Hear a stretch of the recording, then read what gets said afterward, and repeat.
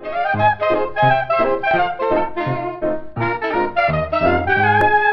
there's there's two parts to this um, that I wanted to mention. One part is that uh, is that the narrative is not shifted. So what this means is basically the the government. It's like a big power move for the government because they have fucked up society so much to this point that they can just say, "All right, we're not going to enforce it anymore.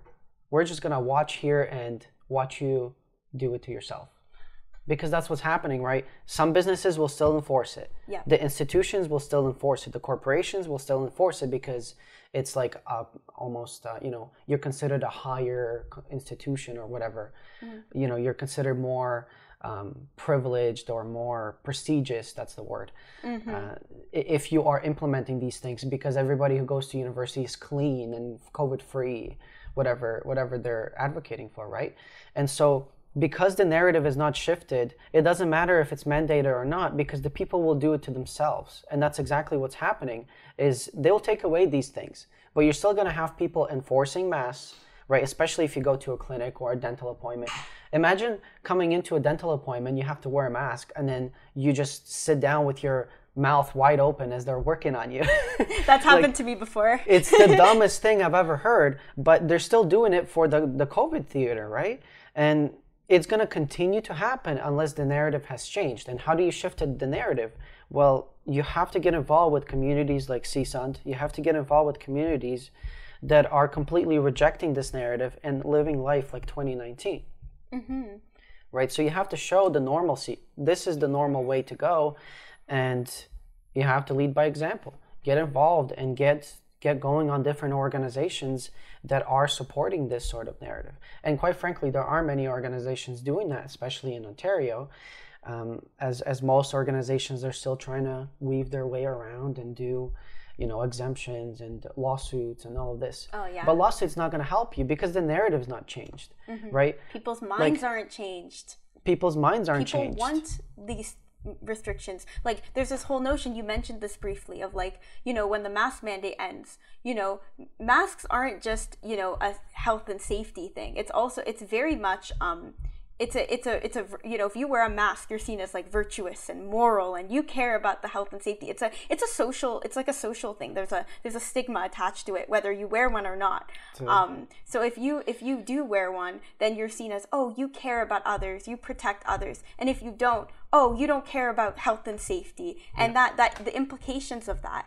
So somebody makes a choice right? They're not mandated anymore. And in a way it's worse because you know now that worse with regard to like you know people you know the conflict between people because now that it's not mandated people if they choose you know people will choose to still wear one. And there's going to be this trend of like look i've chosen to wear one. And that's the indoctrination that's you know come off. The, the government's like oh we're done here. We've done it people are doing it to themselves.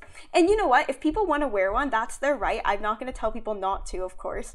But if you don't want to you know you know they they're not going to but now people are going to look at you like oh so you're choosing not to now. Well it's not mandated. Oh so you were only wearing it because it's mandated you didn't want to?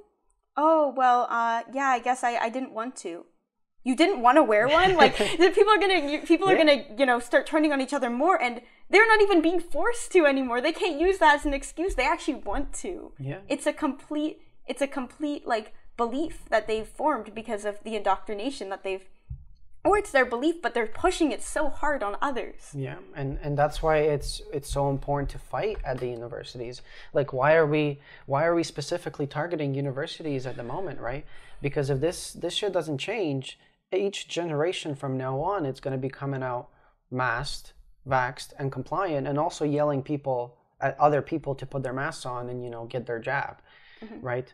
So that's why it's so important to really hone in on the on the universities and and tell them no this this the whole narrative needs to needs to change the people need to realize that this is has been complete trick by the government and the institutions to play on us to take away our power and to take everything away.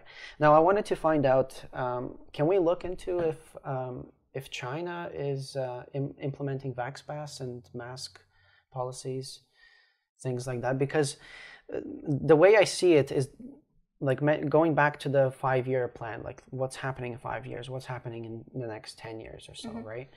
The way I see it is, is that you, Canada, the West, is is heading towards the direction that we will be forcing ourselves to be compliant and to be nice to the government and the authorities because that's that is virtue.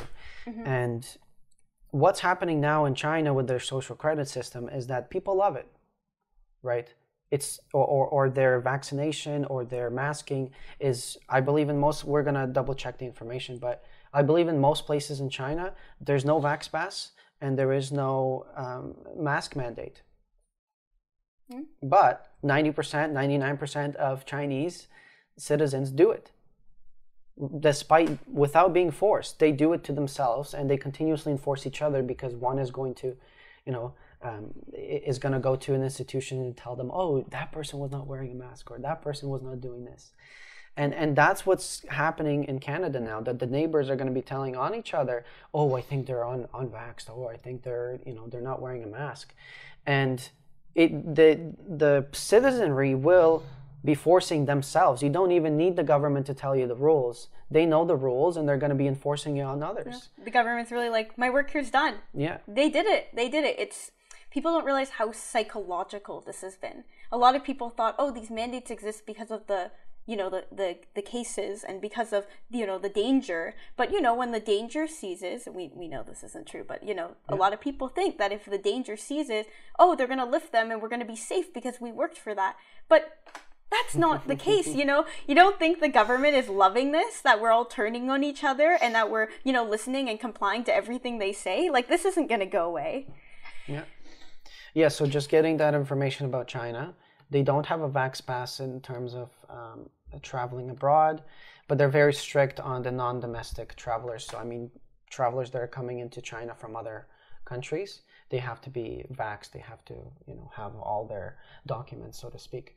But China's testing, so they're not they're not asking for vac- proof of vaccination in order to travel anywhere. But hey, 99% of the population is going to be vaxxed, is going to be disclosing and waving it around. Oh, look, I'm a good compliant citizen. Mm-hmm. And that's what's happening in Canada, and that's the way I see our future going. I mean, do you want a social credit system implemented? do you want the government to.